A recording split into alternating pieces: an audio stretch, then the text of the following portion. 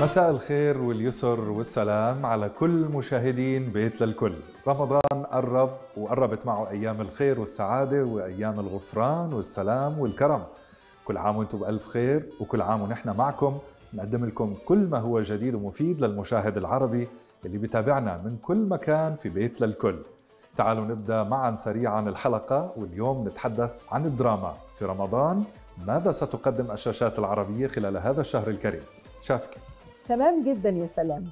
لما بنتكلم عن دراما رمضان بتلاقي على طول نفسك بتفتكر الأجواء وتفتكر المسلسلات ولمة العيلة قدام التلفزيون. مع بقى مسلسلات لطيفة يعني مش ممكن ننسى أبدا تتر الليالي الحلمية.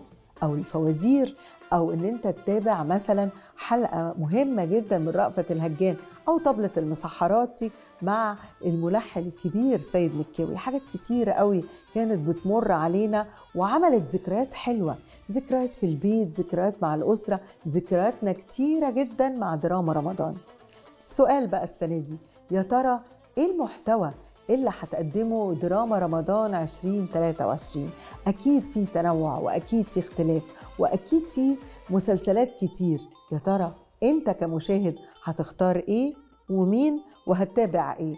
دراما رمضان كلنا في انتظارها وأعتقد إنها هتكون مائدة درامية جديدة من نوعها. لانا؟ نعم شافكي رمضان مطبوع في ذاكرة كل إنسان فينا في مختلف الوطن العربي. صغار وكبار منتذكر كيف كان رمضان يجمعنا وكيف كان التلفزيون بيجمعنا. كانوا الآباء وكان الأمهات وكان الحميمية وكان الدفء. لكن في كل الأحوال مهما حكينا أنه رمضان أطباعه تغيرت وأيضا الصورة العامة له تغيرت بيبقى رمضان هو شهر المحبة والخير واجتماع الأسرة على التلفزيون وعلى الدراما العربية. أيضا بنركز بأنه الدراما العربية أكيد بتعالج كثير من القضايا. تلتم الأسرة الأردنية في شهر رمضان كما هي العادات الأردنية الجميلة. الأسرة بكل حميمية حول التلفزيون.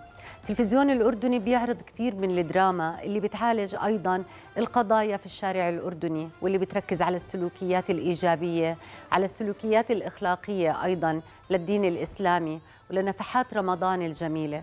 لمة الأسرة في شهر رمضان مطبوعة في ذاكرة كل إنسان فينا. لما تذكرنا آبائنا وأمهاتنا كيف كانوا يلمونا حول التلفزيون بمحبة وكيف كانت هالتلفزيون يجمع العيلة. وما كان كان زمان وإحنا صغار في هواتف ذكية تبعدنا عن بعض.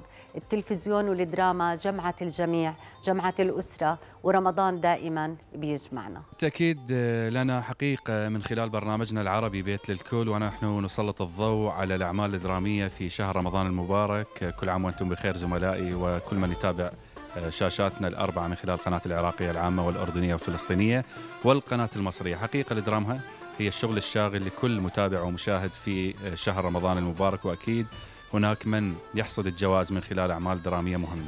اليوم من خلال هذه الحلقة سوف نتحدث عن الكثير من التفاصيل المهمة بكتابة نصوص بولادة جيل شاب واعد ممكن من خلال الشاشات العربية الأربعة يقدم بشكل مهم.